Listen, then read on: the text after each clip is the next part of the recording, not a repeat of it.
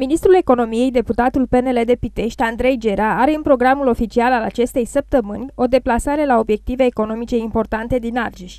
Ministrul va fi în județul nostru joi 6 februarie, iar vizita va debuta cu o deplasare la uzina automobile Dacia din Mioveni, iar apoi, în acea zi, va merge să întâlnească cu reprezentanții angajaților de la Olchim și Petrochimia Bradu. La întâlnirea de la Dacia va participa și prefectul Cristian Soare, care cu această ocazie dorește să invite conducerea uzinei la o altă întâlnire cu șefii instituțiilor deconcentrate din județ, ce va avea loc la prefectură. Da, vine și domnul ministru Gerea, va fi prezent, am luat legătura cu dumnealui încă de vineri. Sigur, dacă nu mai apare ceva, acum dumneavoastră vedeți problemele care, care sunt, dacă nu mai...